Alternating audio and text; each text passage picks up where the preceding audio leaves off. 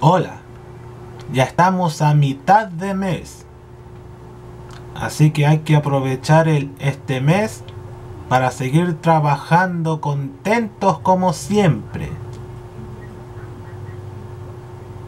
Saludos.